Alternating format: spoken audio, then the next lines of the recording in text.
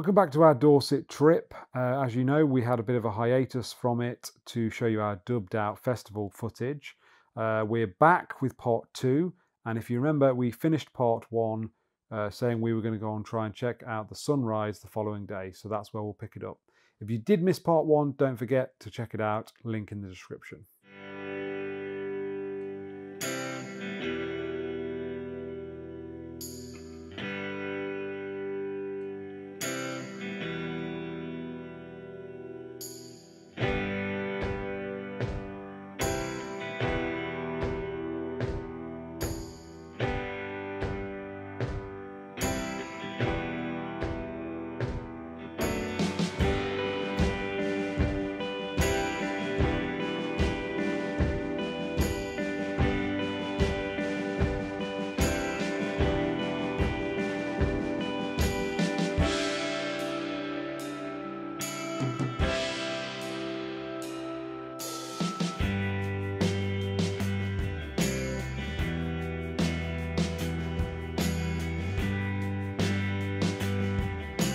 Morning. Morning. We have woken up.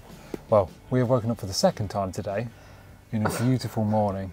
I'm a bit blurry eyed now. I know, yeah. So um, you'll have just seen, uh, hopefully, what will be a cool montage of the sunrise here at Door.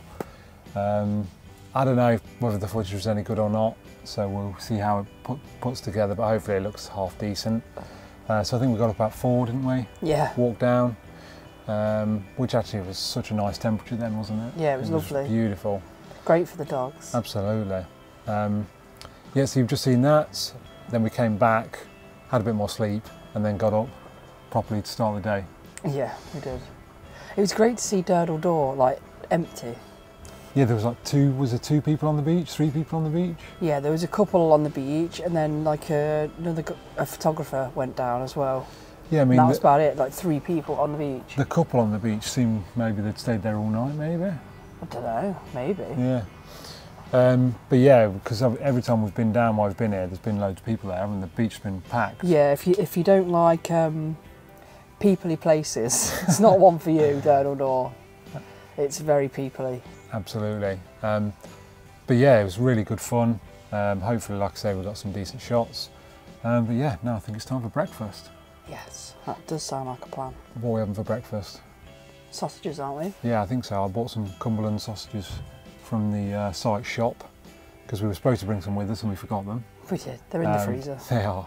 Um, so yes, we're going to have some sausage for breakfast.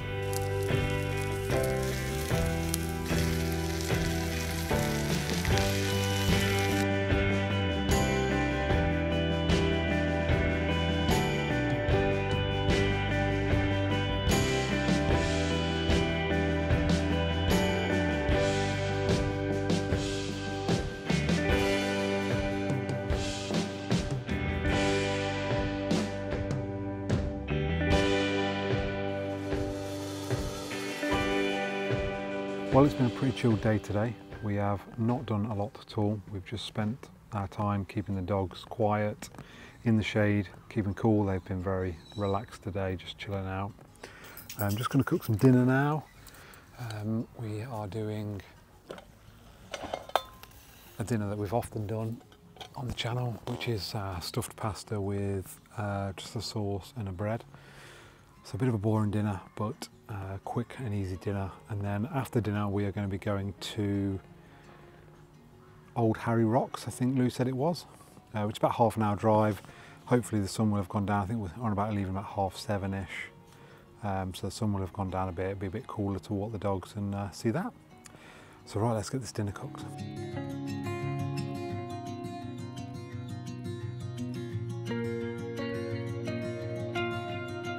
There we have it.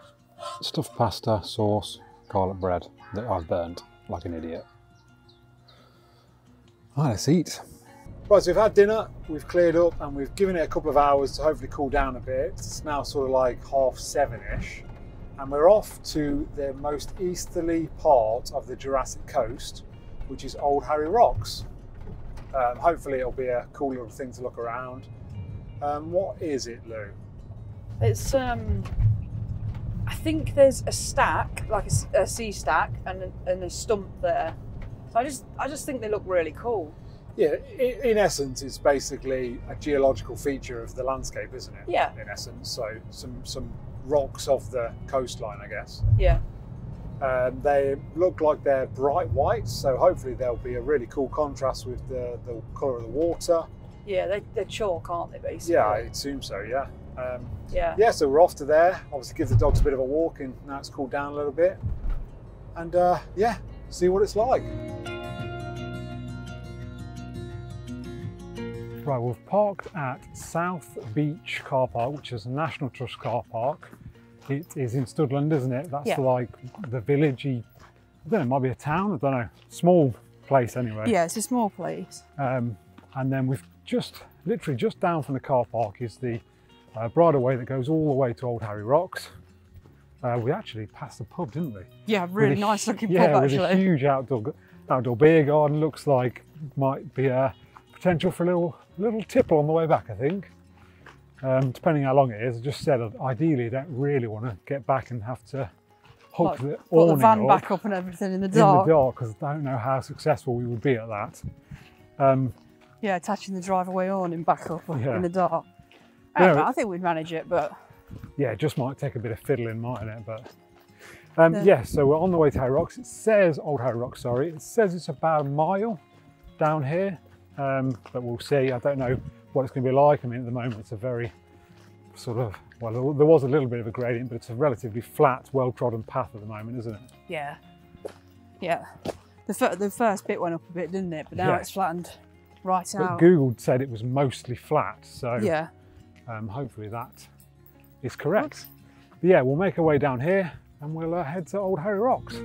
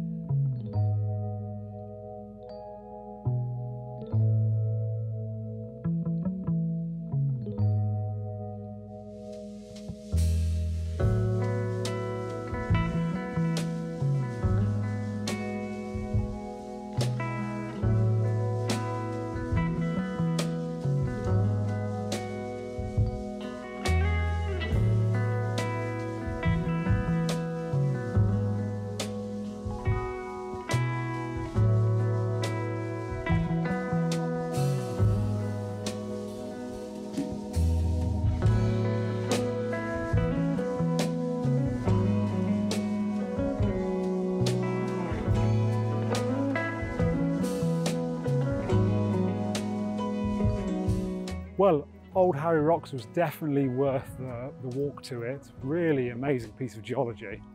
yeah, incredible. And I think you sort of stood there just looking out of it. You don't really get a sense of how amazing it really is. Obviously, you get the drone up, or I guess if you're if you're on the water on the boat or a jet ski, you really get a sense of how amazing it is. Like the drone shots really made it look amazing. Yeah, Like how like rugged it is, and yeah. How carved out it is by the There's seas. so I many different shapes, isn't there? Like, Yeah, it's just, absolutely, and bright white as well. Yeah, absolutely bright white. because the sun's like really bright, isn't Yeah. it? Uh, it's like yeah, shining on the chalk. Old Harry Rocks. Why on earth is it called Old Harry Rocks? Well, actually, when I was looking up about it, I saw There's I've like three I've got it there. There's possible three. variations. There's three theories about why it's called that. So I've got them on my phone, so I'll read them out. So, one legend says that the devil, traditionally traditionally known euphemistically as Old Harry, slept on the rocks. So that's number one. The devil slept there, and he was called Old Harry. Brilliant. Number two is they were named after um, Harry Paye, who was an infamous Poole pirate.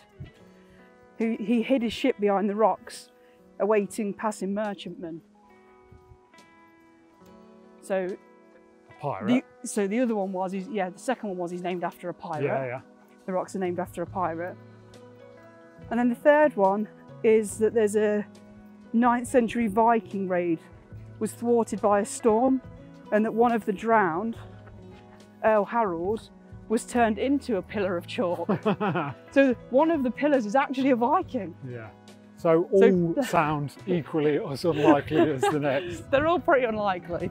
I do, But, uh, don't you often find with these things though, like it starts out of one thing and over the years, past stories passed down and it just gets Yeah, different people and, make different things and, up, and then they? it just becomes completely uh, like it's probably something really simple, but yeah, those those are the scenarios. But yeah, lovely walk down to here uh, at the old Harry Rocks. Yeah, it's quite easy walk actually, yeah, absolutely, pretty much flat. There's a slight incline at the start, but? But not for very long, is it? it might be time to see if we can get a pint in that pub before we go back.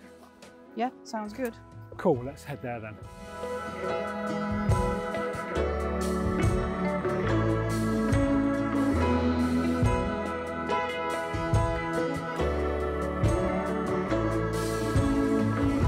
Well, we've come back to the pub that we passed, which is the Bankes Arms Inn. I think that's how you pronounce Yeah. it. It's really busy actually. What a beautiful pub this is It's though. lovely. Like a stone built pub, real old school sort of vibe to it. I love Yeah. it. It's so cool.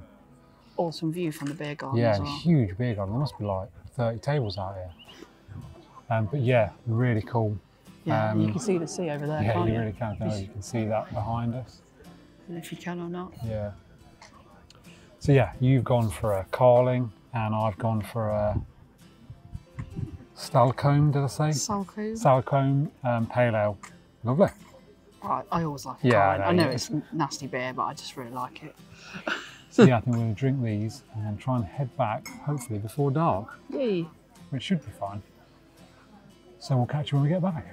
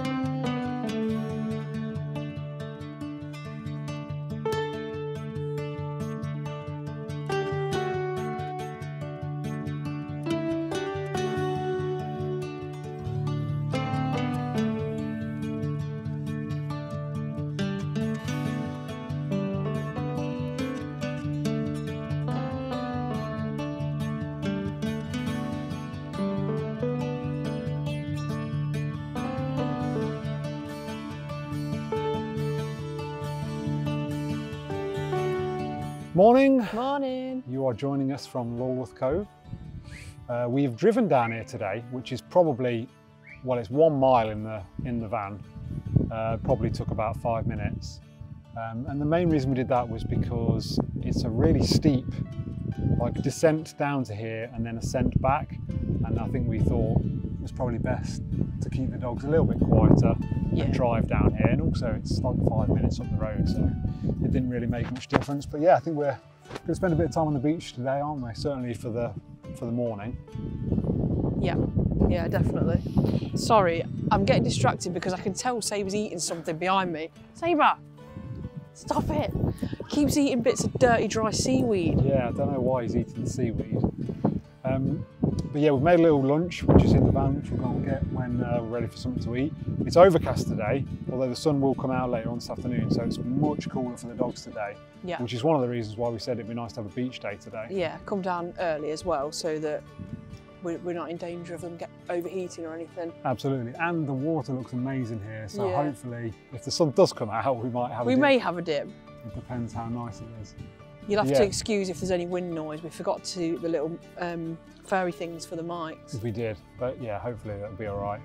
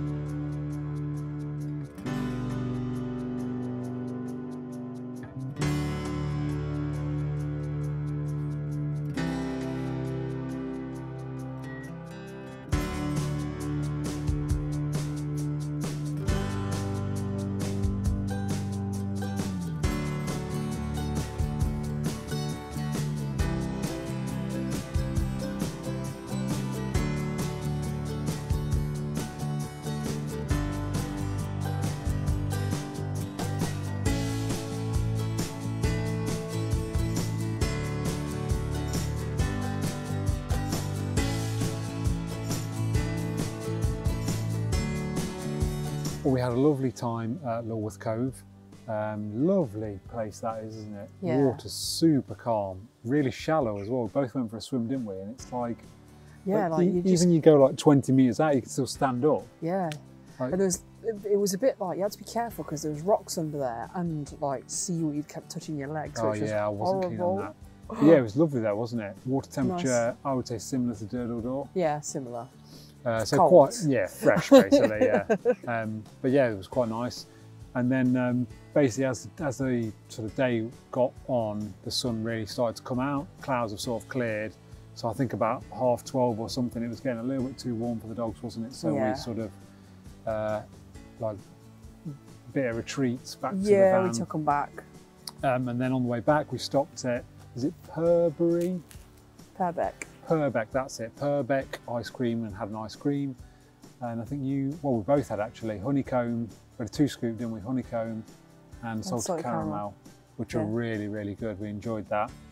And then, yeah, went back to the van and, and headed back here basically. And we've Yeah. sort of chilled in the shade ever since, really, haven't we? Both went for a shower, to Yeah. be fair. That's why I look like Hagrid because I've I've not I've not done anything with my hair. I just let it dry. Yeah. Site's really quiet this afternoon, actually, isn't it? I don't know whether we're in that in between period where people are leaving, people are coming. You know, it's like what middle of the week, isn't it? Or just past the middle of the week, isn't it? Yeah, what is it? Thursday. today? Thursday today, yeah. Yeah. But yeah, site's really quiet tonight. Tonight, today. Um, so yeah, and then I think we're going to possibly pop down to the Man Manor War bar and get, or maybe a beer and some pizza for dinner. I think. Yeah, I think so. I think that'll uh, be a nice end to the day. I think. The dogs had a little paddle, didn't they, as well? They did, yeah. Dallas probably went in the furthest we've ever seen him go in, I reckon. yeah. And they're so. just literally just flat out at the moment, aren't they? Yeah. I think we've tied them out on the beach today. But yeah, that'll be it for us for a bit, won't it? Yeah, Till we can get some nice beer and pizza at the Man O' War Bar. Well, we just had some lovely pizza at the Man O' War uh, Bar and Restaurant. Nice, wasn't it? Yeah, I enjoyed that.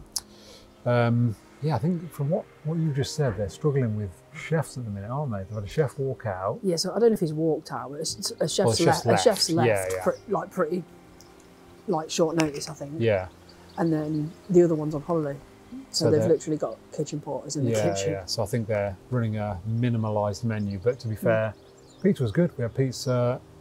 Yeah, it was good. It was really good. You had a barbecue chicken pizza, and I had a meat feast pizza. Yeah. Yeah, very good. Enjoyed that. And we're just on uh, beers, aren't we? I think Yeah. Dorset both Pale. on Dorset Pale. Yeah, you you were liking that as well tonight, aren't you? Yeah, it's really good. Hmm. Yeah, it's actually cooled down. We're sat in the shade. It's here. actually quite cold Quite, there's quite a breeze, and it's actually. I think if you were sat in the sun, you'd still be pretty toasty warm. I think, Yeah. but it's actually cooled down in the shade. It's almost to the point where you, well, you can see I've got a hoodie on, so you know it's gone a bit cool, hasn't it? Yeah. Um, yeah, what a lovely day it's been. Obviously, uh, Lulworth Cove this morning, Yeah, I really was enjoyed that. really, really nice, really pretty.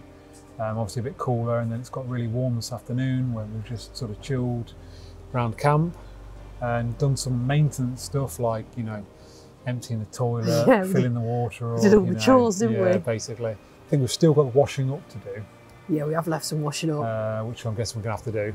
Um, yes, but a few chores around the around that you have to do when you're away, don't you? Yeah. Unfortunately, when the you're in toilet being the worst one. yeah, definitely.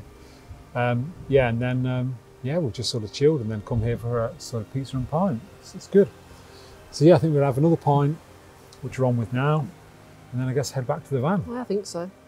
So the bar has got gravy bones on it, and the dogs don't realise that Lou got gravy bones. Boys, would you like a biscuit? Oh, a gravy bone. Can I have your best sits then? Good boy, Oh, Dallas. good boy. Da- ah, ah. Good Oh. boys. Now I just have to watch, make sure Sabre doesn't get Dallas's as well. Which is basically a thing that happens all the time. Sabre doesn't chew, he just swallows his whole. Don't you? Awesome. That's nice touch, isn't it? Having biscuits on the bar. It's a massive jar as well. Yeah, yeah.